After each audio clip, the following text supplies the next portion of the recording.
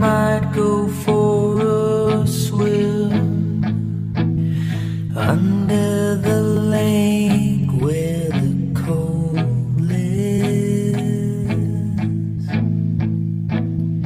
and shiver while the factory flames dance like spares.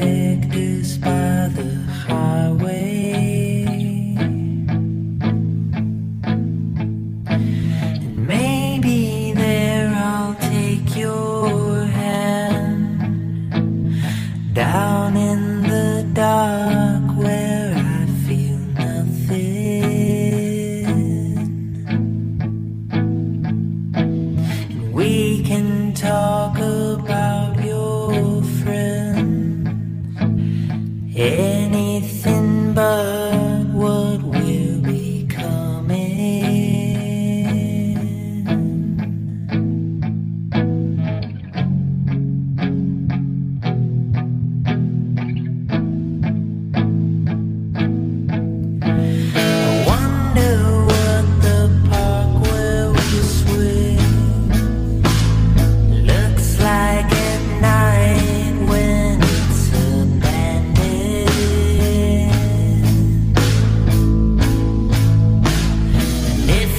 know.